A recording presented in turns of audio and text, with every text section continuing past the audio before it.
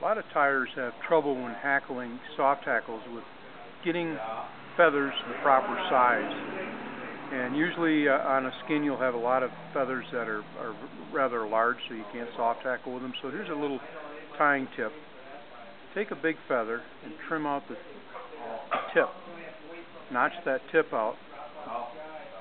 Next lay your soft hackle feather like such over the area that you want to hackle. Pinch it, make a wrap, and actually you're going to see as we march those feathers around the fly. See how we soft, how we hackled that fly with a really large feather that normally would be thrown away and unusable for soft hackles. Simply then trim the ends out of the way, whip finish, and there you have a very small soft hackle fly tied with a really large feather by using that little tying tip for you. There you go. And that's how you tie soft hackle.